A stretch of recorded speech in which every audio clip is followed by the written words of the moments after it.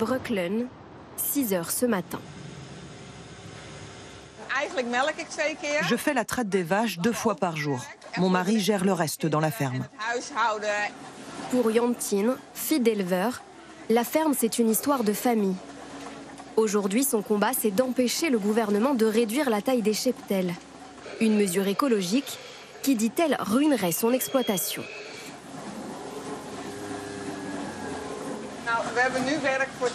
Pour le moment, on a du travail pour deux personnes à temps complet. De quoi gagner des revenus corrects. Mais si on perd la moitié de nos vaches, alors on va perdre la moitié de nos revenus. Et on n'aura du travail que pour une seule personne. Avec mon mari, nous avons deux fils d'une vingtaine d'années. Ils veulent tous les deux devenir agriculteurs. Sauf que concrètement, on ne pourra laisser qu'un seul des deux reprendre notre exploitation. Impensable, inenvisageable. Alors dès 2019 et pendant des semaines, Yantine et son mari rejoignent la révolte des tracteurs qui secouent les Pays-Bas.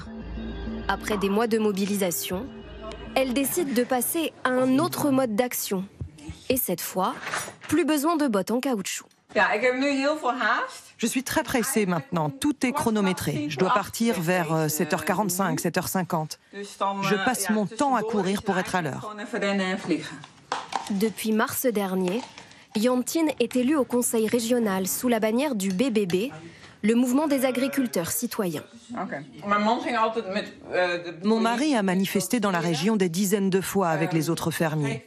Et un jour, il est rentré et il m'a dit C'est pas en manifestant qu'on va y arriver. On doit entrer en politique. C'est comme ça qu'on pourra changer les règles.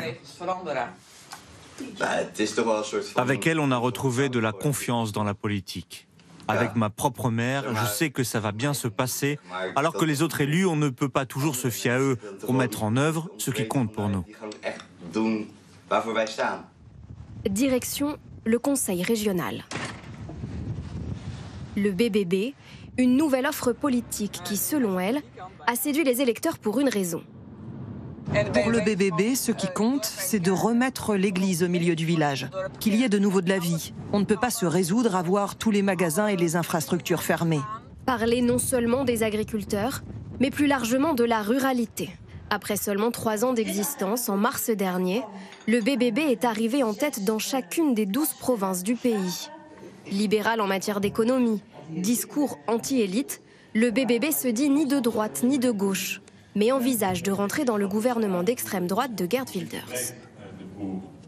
Nous avons eu des élections législatives et Gerd Wilders a obtenu 37 sièges. C'est une percée considérable. Il n'y a rien de plus démocratique. Les électeurs se sont prononcés. Donc, Gerd Wilders est la personne indiquée pour former un gouvernement. Mais gare à la désillusion. Les nouveaux élus se heurtent à la réalité du pouvoir. C'est vraiment très très difficile. Parce que nous avons 15 sièges et qu'il n'y a que nous qui comprenons vraiment les intérêts des agriculteurs. Et donc on doit sans arrêt se battre avec les 35 autres élus. C'est la majorité qui l'emporte. La plupart du temps, on n'obtient pas ce qu'on veut. Prochain grand test électoral, les élections européennes. Le BBB espère cette fois peser sur la politique de Bruxelles.